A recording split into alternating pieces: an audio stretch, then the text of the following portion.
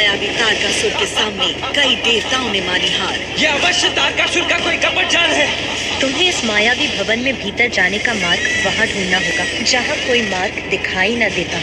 क्या माँ के सुझाव से खंडित हो पाएगा प्रवेश द्वार? विघ्नहर्ता गणेश हर दिन रात आठ बजे सोनी पल पर।